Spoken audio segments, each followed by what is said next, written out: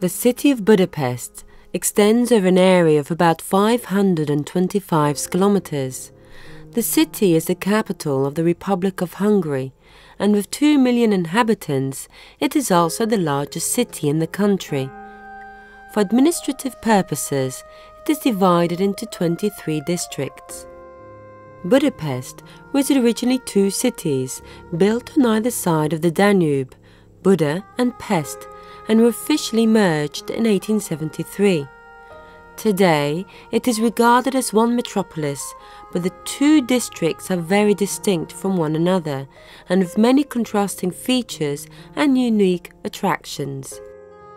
The romanticism which still pervades the city, the endless search for its own identity, its proud sense of isolation, and at the same time its commitment to the idea of becoming an integral part of Western culture, make it a city which can undoubtedly teach us a great deal.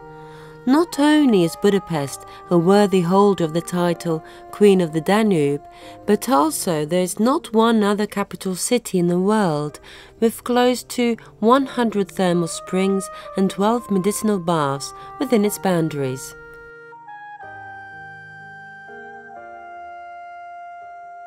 Among the hills of the West Bank is the old and charming Buda district, which is characterized by colorful townhouses and the famous Castle Hill. Rising 48 meters above the Danube, the Castle Hill dominates the city. It is a picturesque royal palace which was first inhabited in the 13th century and after the Mongol invasion was turned into a fortified stronghold.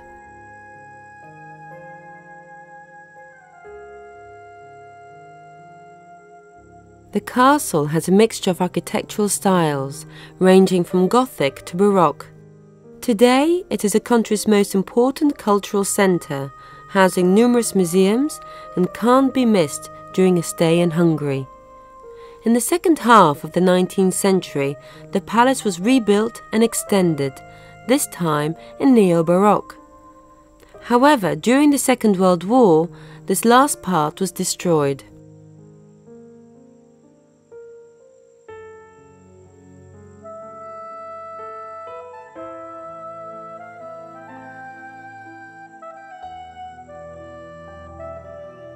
Hungarian National Gallery contains the largest public collection documenting and presenting the rise and development of the fine arts in Hungary.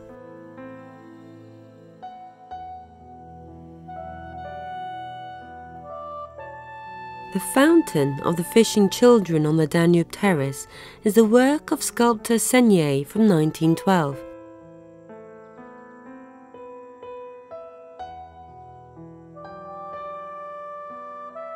The museum has been run as an independent institution since 1957.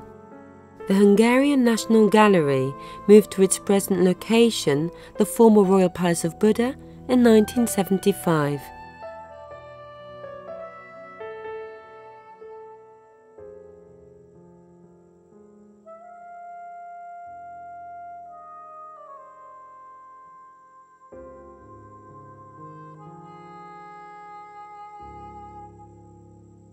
The equestrian statue of Prince Eugene of Savoy stands in a prominent position high above Budapest.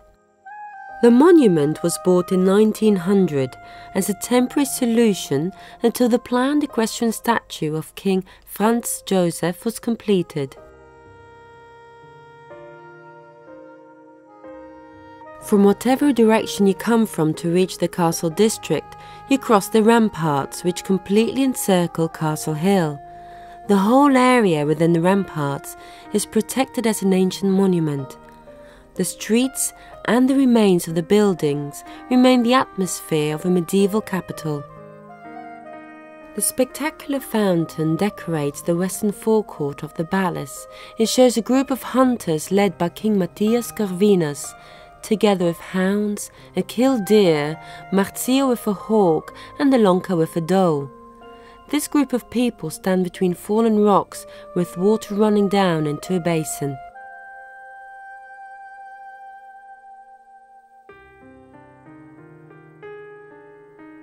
There are two lions guarding the monumental gate leading into the Lions' Court.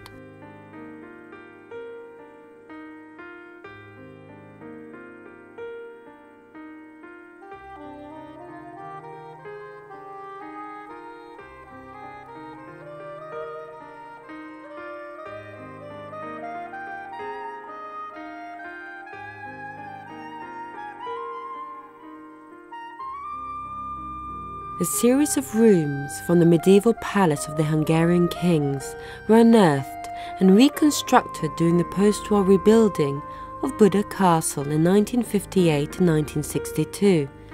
They are now part of the permanent exhibition of Buda Castle.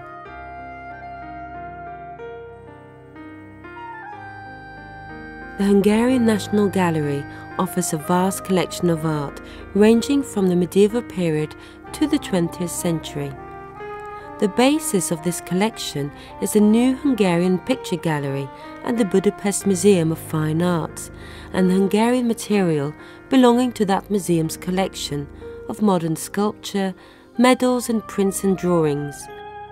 The holdings of the new institution include approximately 6,000 paintings, 2,100 sculptures, 3,100 medals, 11,000 drawings, and 5,000 prints.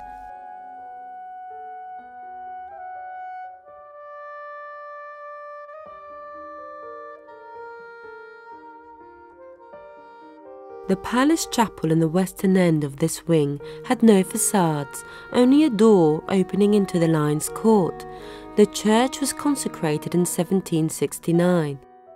The grand plan was drawn by Nicolaus Pacassi, but the interior was designed by his follower, Franz Anton Hillebrand.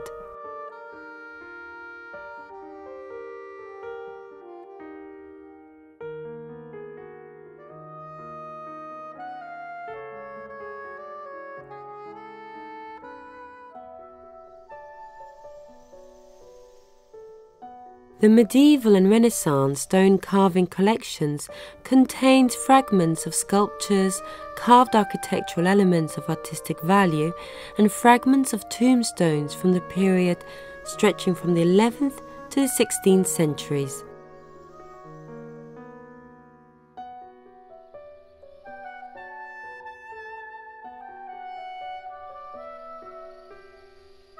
The museum houses a collection of archaeological finds from Budapest, showing Budapest in the Middle Ages to the development of settlements from the Roman age to the 13th century.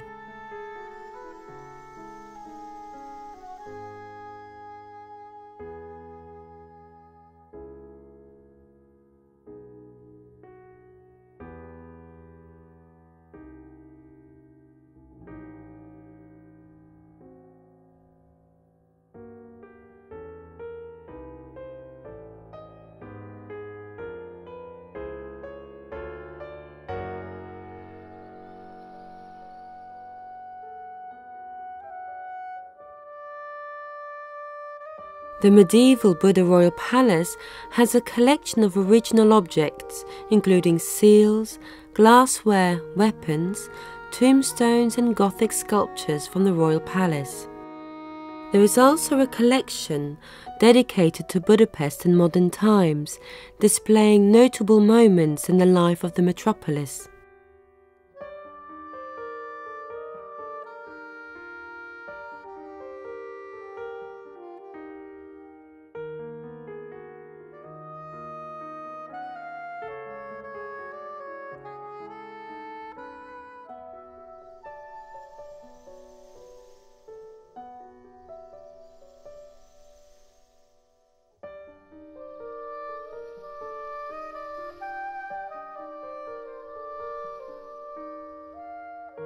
Outside the fortification network, landscape gardens and grassy meadows with trees and flowers have been created wherever possible.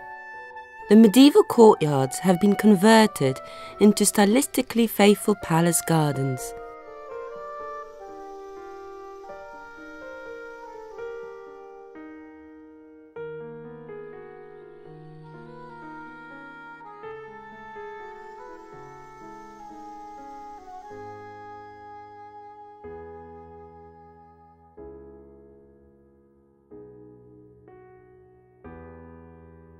The castle district is one of the most romantic pedestrian sections in Budapest, a little medieval town with atmospheric streets, picturesque houses, gas lamps, and beautiful monuments.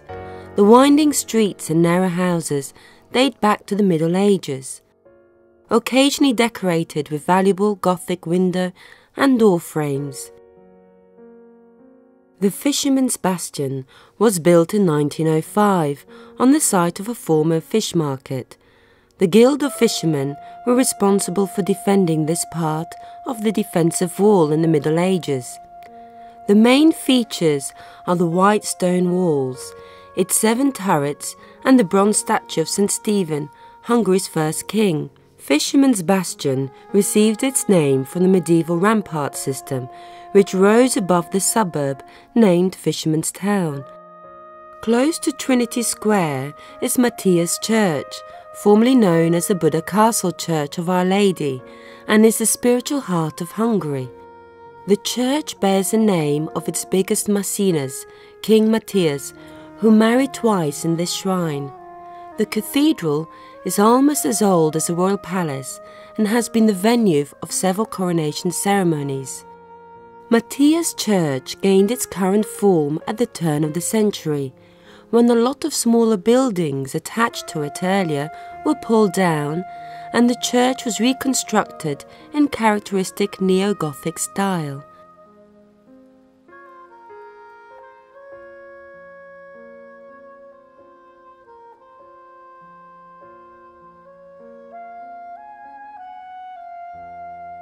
Romanesque, Gothic, and Baroque architecture are features of Úri utca.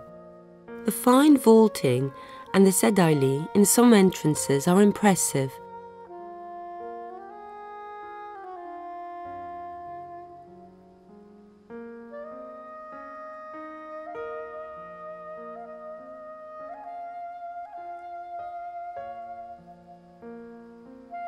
The Mary Magdalene Tower is a part of a 13th century Franciscan church used by Hungarian speakers. Under Turkish rule, this was the only church allowed to remain Christian. However, the church was destroyed during the Second World War, but the tower survived almost intact. The tower was restored in the 1990s and is a popular tourist site attraction where people can climb the tower and reward themselves with some magnificent views. By far the most tranquil way of ascending Castle Hill to the Royal Palace is the Sikló. Originally opened in 1870, its main function was in providing cheap transport for local workers. Wrecked by German shelling in 1945, it was left in a state of disrepair until it was fully restored in 1986. The first stone bridge to be constructed over the Danube to connect Buda and Pest was the Chain Bridge, completed in 1849. Eight bridges link Buda to Pest, but the Chain Bridge is the first and most famous, with its solid arches and lined statues. The Englishman responsible for London's Hammersmith Bridge, William Tierney Clark, was commissioned to design the bridge. The bridge was inaugurated in 1849, allowing for the integration of Buda, Pest, and Óbuda in 1872. The bridge is 380 meters long and almost 16 meters wide. The iron chains are supported by two arches in the neoclassical style.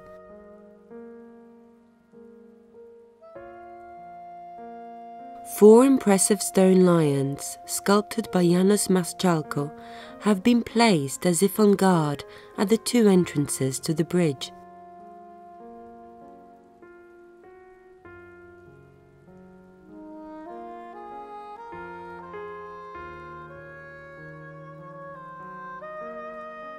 The Danube is an integral part of the life of the city.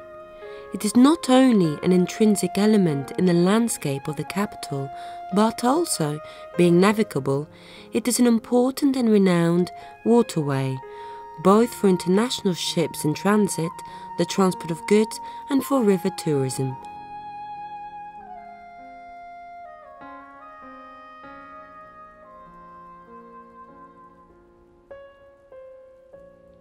The Danube is about 400 to 5 meters wide, even in the heart of the city, offering a beautiful sight with its bridges over the large river from both sides.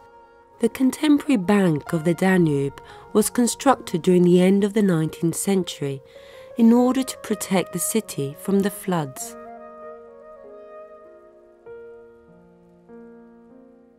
During the summer months and at lower water levels, many people take walks along the Danube and get some sunbathing in on the stairs. It's possible to see fishermen around the bridges.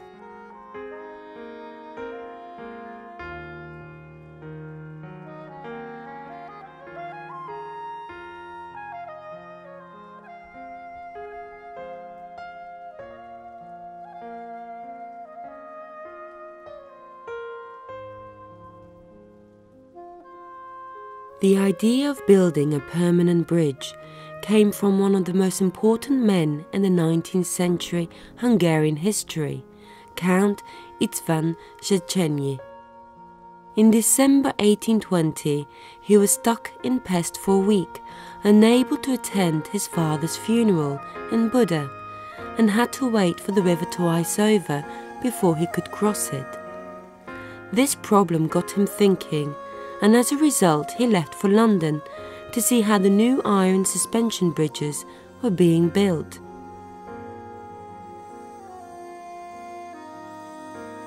In Roosevelt Square there are a few monuments the Ferenc Deák statue, the Hungarian Academy, and Gresham Palace.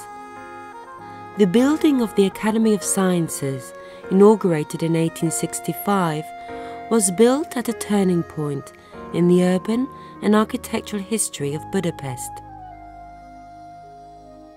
Gresham Palace, an Art Nouveau gem, was built in 1904 to 1906 to house the foreign headquarters of the Gresham Life Insurance Company. St. Stephen's Basilica of Budapest, which was built in Neo-Renaissance and Classicist style, is one of the most beautiful and most significant spiritual and tourist sites of Hungary. The building process began on the 14th of August 1851 according to the plans of Joseph Hild, who managed the building operations till his death in 1867. The works finished in 1905. The Basilica is Budapest's largest church and holds more than 8,000 worshippers. It was named after the founder of the Hungarian state, Saint Stephen. Entering the basilica, there is enormous space with a deep red, black, and white marble and precious stones. Its interior is rich in various artworks from renowned Hungarian artists. One of the peculiarities of the basilica is that architecturally it is not a basilica because its layout has a shape of a Greek cross, but even so it was called basilica from the first moment. The mummified right hand of Saint Stephen, the most important relic of the Hungarian statehood, is kept in the Holy Right Chapel.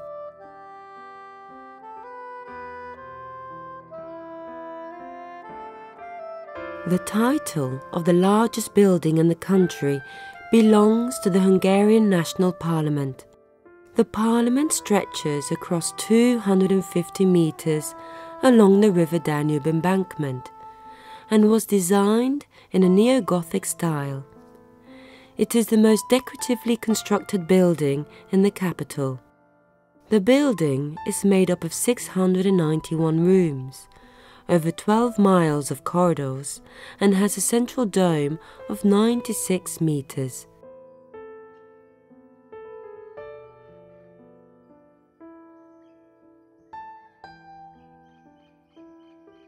The visible ruins of the Aquincum civic town represent the excavated one third of the central settlement. The structure of the Aquincum civic town was greatly influenced by both the area's natural geography and its previous architectural history. The monuments visible today reflect the result of restoration work carried out between the early 1960s and the beginning of the 1970s.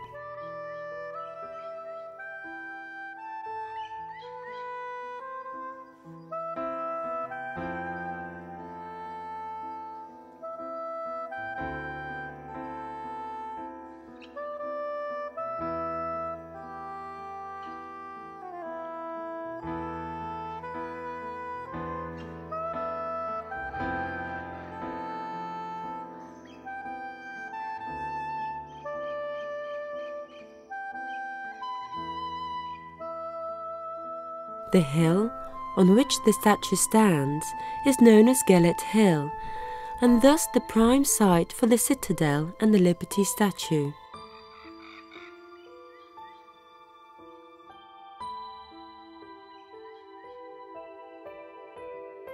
The Budapest Metro consists of three lines. It is the second oldest underground metro system in the world, and its iconic Line 1 dates back to 1896. The original purpose of this metro line was to facilitate the transport to Budapest City Park. Although the capital always opposed any surface transport on Andrassy Avenue, this has since become the most elegant road of Budapest, part of the World Heritage.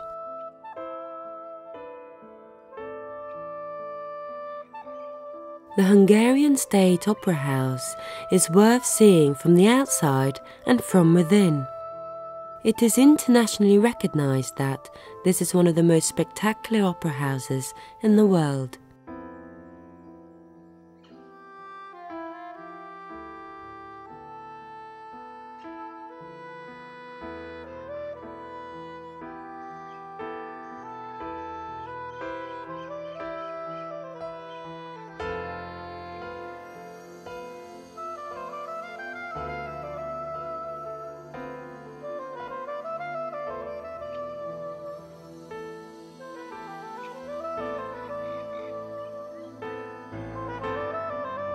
Octagon is the Grand Boulevard's junction with Andrassy Avenue in Budapest.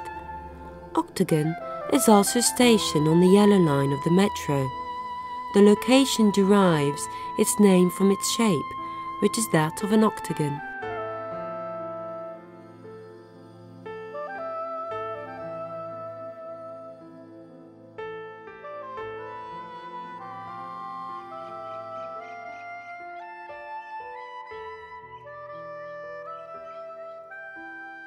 Kodály Körönd is a square with beautifully painted old buildings and statues of four of Hungary's great heroes in each corner.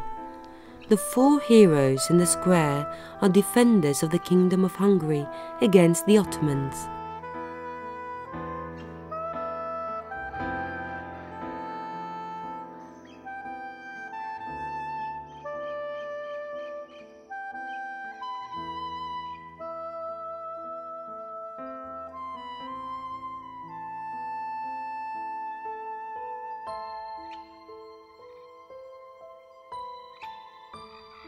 The Kogart, a house of art and gastronomy, is dedicated to regular art exhibitions, events, and concerts.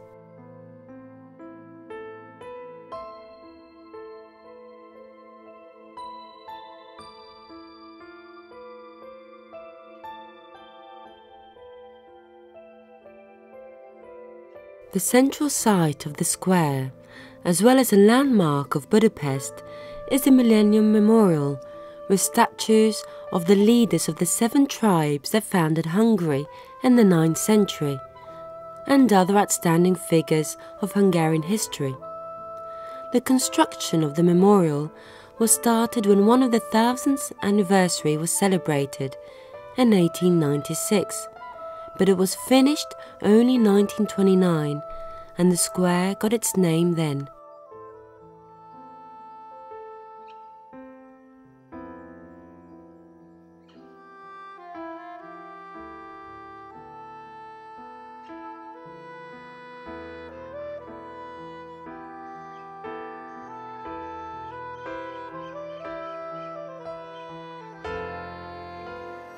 The Palace of Art, or Art Gallery, is located opposite the Museum of Fine Arts. It is built in an eclectic neoclassical style. The building in red brick is decorated with colored ceramic high reliefs.